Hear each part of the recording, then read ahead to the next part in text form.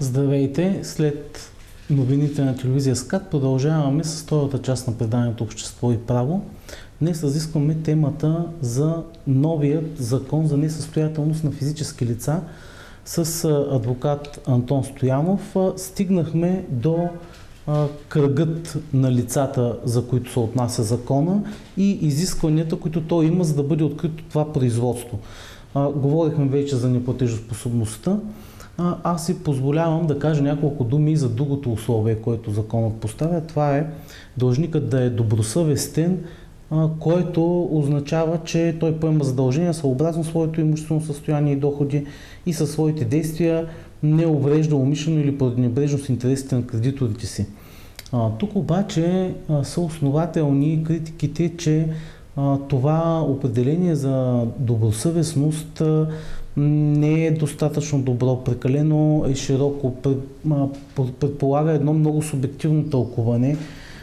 Би следвало тази преценка за добросъвестност да се дава на базата на вида и размера на задълженията, т.е. Дали, дали става въпрос за задължения, примерно за заплащане на битови сметки, дали става въпрос за задължения за заплащане на публични задължения, задължения за данъци, такси или примерно, например, става въпрос за заплащане на задължения, възникнали от бърз кредит, изтеглен за да се отиде на а, екскурзия а, от една страна. Освен това, а, периодът на неизпълнение, а, самото поведение на, а, на длъжника и това дали той е правил опити да изплати задълженията си, дали е направил опит за а, някаква медиация, именно посредничество за разрешаване на спора с неговия кредитор или кредитори.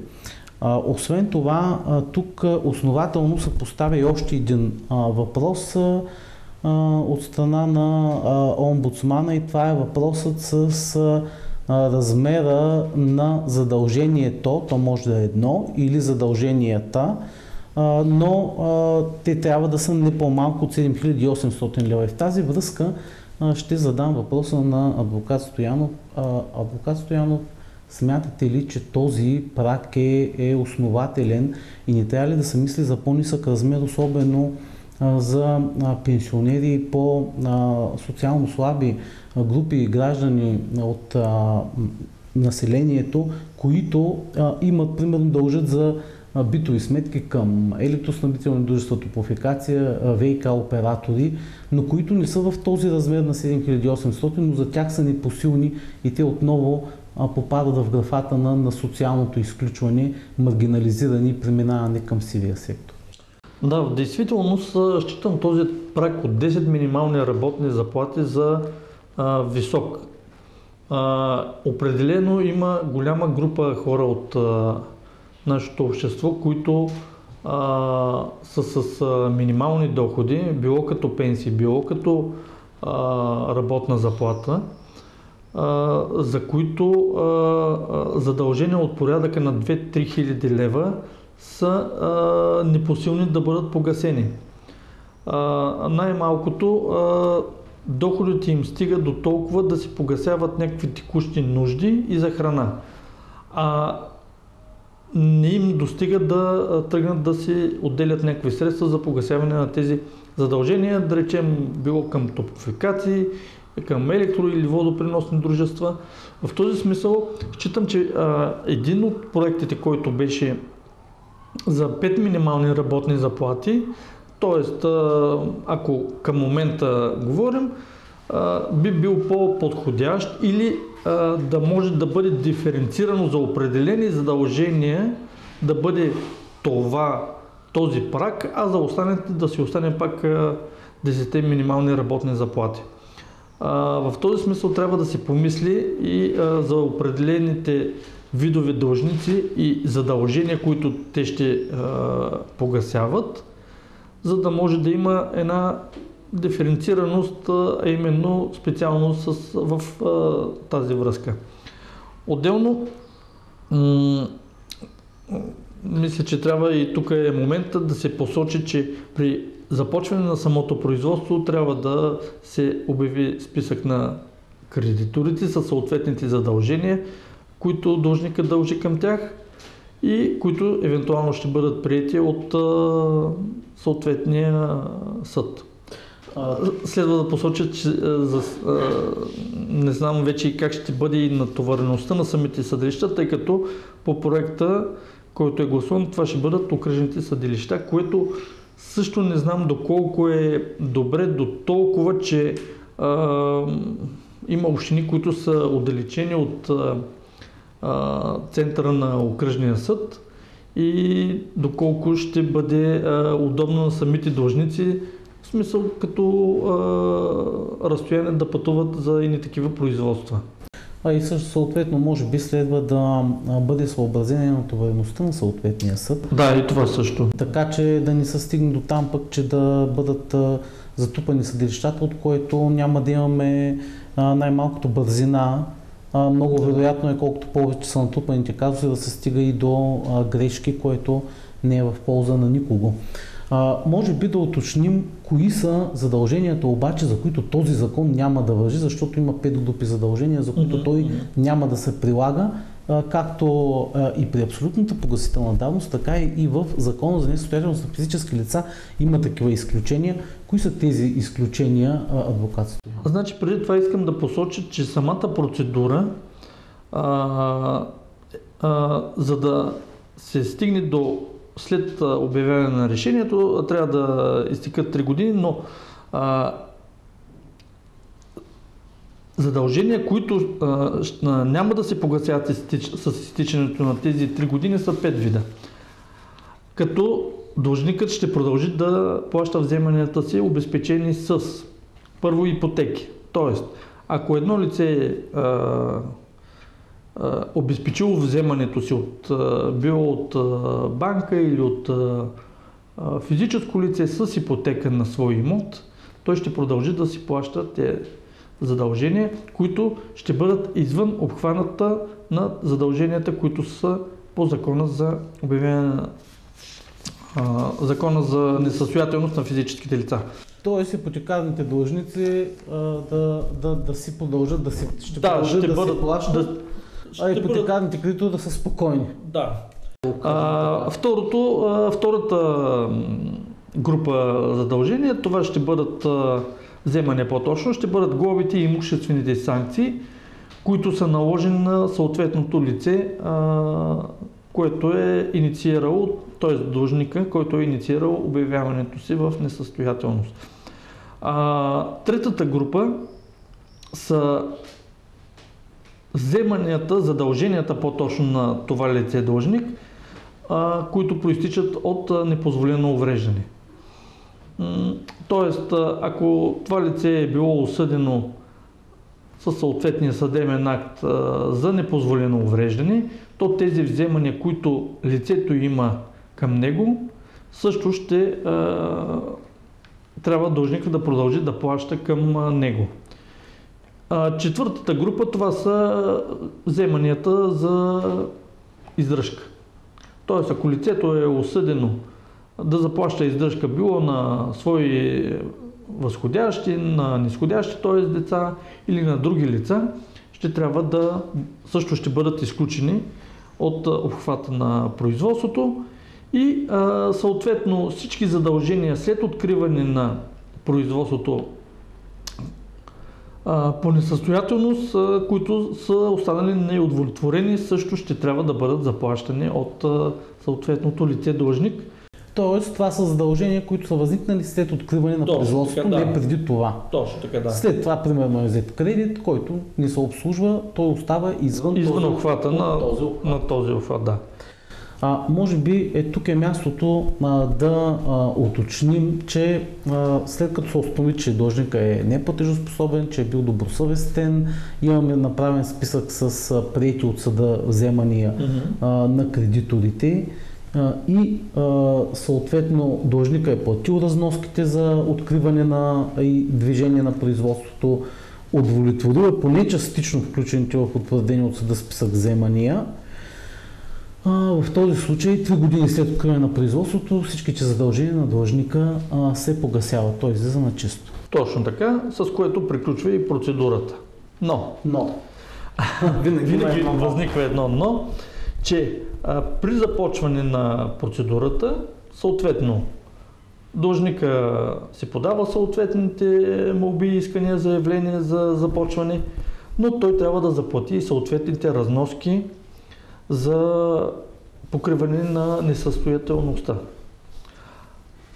И ако няма съответните доходи или имущество за да ги покрие, съда съответно а, няма друга възможност, освен да спре това производство. А, спирането може да бъде за максималния срок от една година, като ако в рамките на една година не бъдат заплатени тези разноски от страна на дължника, а мисля, че в повечето от случаите ще стане така, но нека да видим, практиката ще го покаже, то а, съответно съда а, единствената му възможност е да прекрати производството и с изтичането на 5 години от решението за прекратяване, задълженията на дължника се погасяват. Забележете, уважаеми зрители, каква огромна то, то, врата. Тоест, а, а, от момента на започване на производството до момента на погасяване на задълженията изтичат реално 6 години. А, практически а, това, което обясни тук, що адвокат Стоянов означава следното. А, вместо вие в един момент да трябва да доказвате, че сте в неплатежоспособност, да доказвате добросъвестността си, да изпълнявате част от задълженията, ако всъщност сте недобросъвестен, което е абсолютно възможна хипотеза за част от длъжниците и за съжаление е, е, е действително възможна, а, възможен случай, а, то тогава вие може да поискате откриване на производството, да не заплатите необходимите за това такси, съда, както разбрахте, ще го спре, ако до една година не поискате подновяване, възобновяване, защото вече сте успели да съберете средства, за да бъде проведено това производство по несъстоятелност, след изтичането на още 5 години или общо на 6 години всичките ви задължения се погасяват. За мен това е доста непропорционално решение. В това производство, да, дължника е по-слабата страна винаги от кредитора, но следва да има баланс между правата и задълженията и правоотношението дължник-кредитор. Когато се опитваме да помогнем на, на по-слабата страна, не означава, че ние трябва да накърняваме правата на, на кредитора, защото ние може да сме както в, от страната на получаващите примерно един паричен заем, така може да сме от страната на, на даващите, на кредиторите.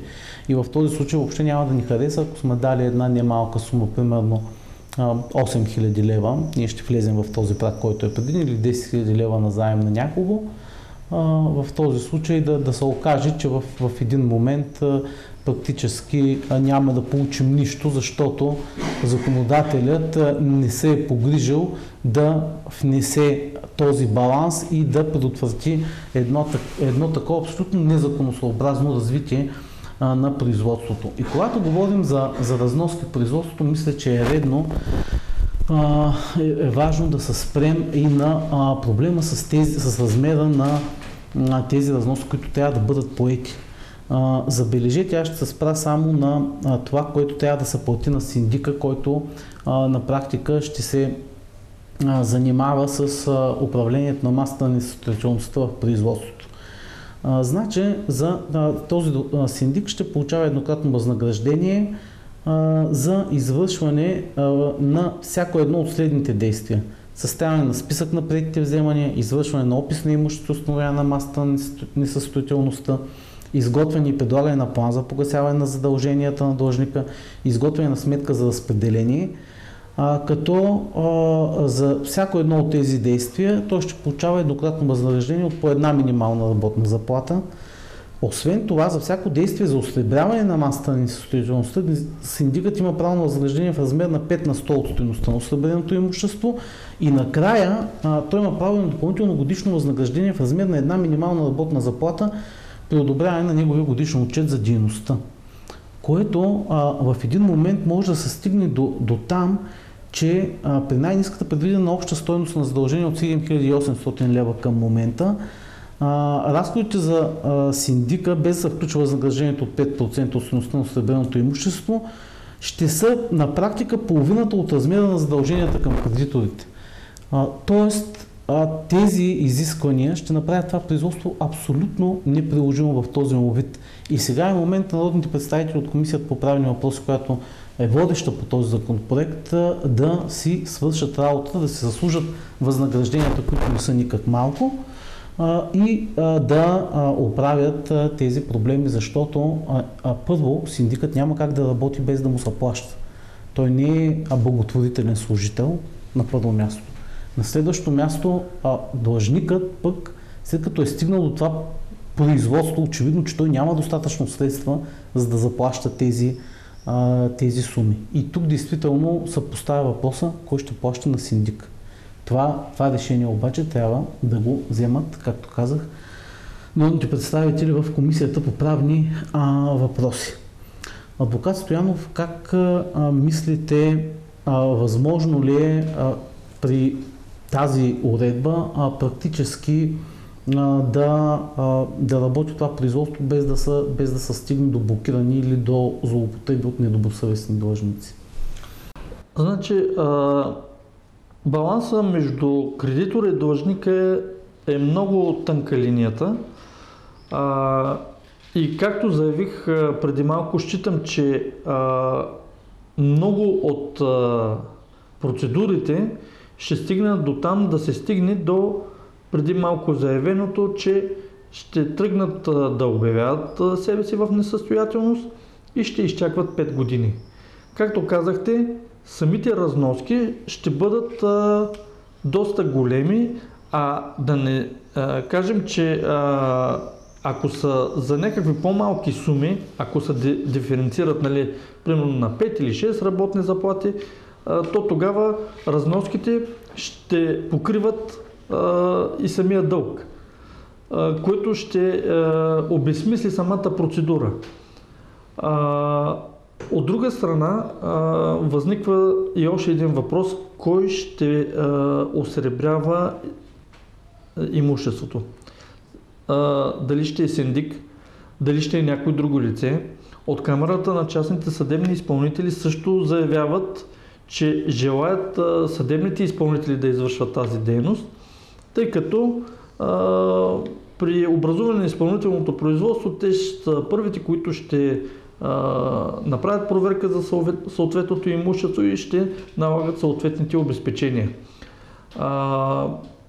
тук също следва законодателя, т.е. народните ни избранници, да а, обмислят много добре кой ще събира а, и осребрява имуществото.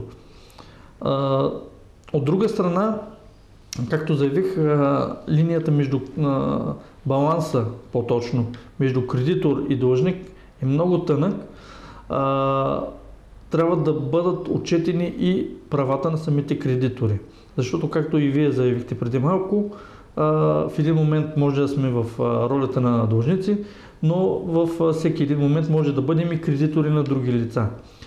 А в тази връзка искам да заявя, че а, много добре а, хората, когато било взимат или дават а, назаем, да го правят със съответните документи, а, да не се а, влияят от а, някакви приятелски или роднински взаимоотношения, просто всичко, което а, е във връзка с тези парични взаимоотношения по взаимодаването, да бъдат оформени в даже на, на една страница само, за да се знае каква е сумата и кога ще бъде върната. Защото има много лица, които дават немалки суми от порядъка на хиляди, да ни кажат десетки хиляди лева, просто на доверие.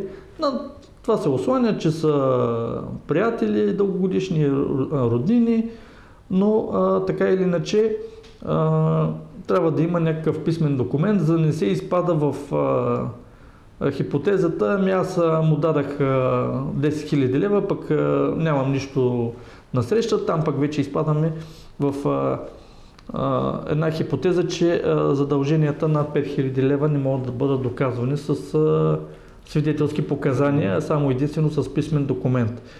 И в тази връзка, по същия начин, нека и да четат съответните договори, които взимат, когато се взимат кредити, било от банки от небанкови финансови институции най-вече, защото там има скрити подводни камъни, така да се каже, за които после човек съжалява в желанието си да вземе някакъв кредит и да го освои възможно най-бързо. В а, заключение, като продължение на думите на адвокат Стоянов, а, уважаеми зрители, а, когато а, теглите кредит а, или когато вие сте кредитодатели, а, винаги се обръщайте към а, адвокат а, за а, правна защита и съдействие за правилно и вярно оформяне на а, съответните документи. А, спомнете си поне а, поговорката по отношение на а, съдебното производство по доказване, че съдът вярва на, на доказано, а не наказано и в този смисъл действително трябва да имате надлежно оформени договори за, договори за заем, записи на заповед, които да могат да обезпечат вашите евентуални претенции, ако се окаже, че вашия длъжник е недобросъвестен. А по отношение на закона за несостоятелност на физически лица, виждате, че има доста, доста още какво да се направи, за да стане той един работещ механизъм. Но положителното е, че все пак този закон е прият на първо четене и а, аз си запазвам правото, когато той бъде прият на второ четене, отново с адвокат Стоянов да а, разискваме вече окончателно приятите законодателни решения, да направим коментар дали те ще бъдат удачни а, в практиката или не. Благодаря за това, че бяхте с нас. Останете с новините по телевизия Скат и с предаването Паралак. С вас ще се видим следващата събота.